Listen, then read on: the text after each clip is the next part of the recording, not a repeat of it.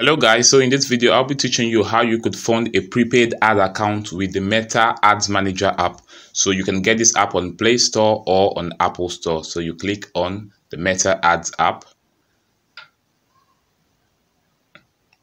Alright, so we're gonna fund this creator ad account. In order to fund this ad account, we're gonna visit the settings at the bottom right corner. So you click on the settings button this is going to take us to this page. Then we click on payments. All right so this is where we're going to add the funds. So you click on add funds to pay. All right so we're going to enter the amount we want to put. Let's fund just 100 naira for this video. Okay so 100 naira. Okay that's it. So you click on PayU to fund your prepaid ad account so use only PayU. This is what we recommend. Click on continue. Okay so this is going to take us to a browser.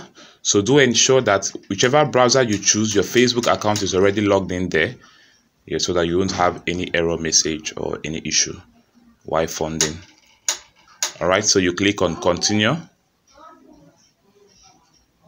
Then you input your card details. Very very easy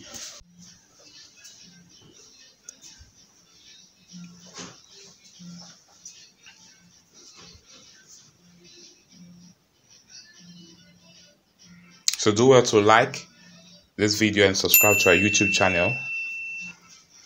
Alright, so we're going to put the CVV number, then we click on pay, the pay NGN 100.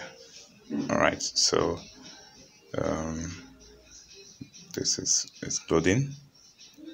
So you're going to input the OTP sent to your phone number connected to your bank or your email address so the payment is successful. Click on continue. So we recommend this for specifically nigerians. So let's go back to ads manager. As we can see the funds has been added successfully. So you could confirm from the payment activities. So you could see there that 100 naira has been added. All right. So we're going to upload a video on how to do this on a laptop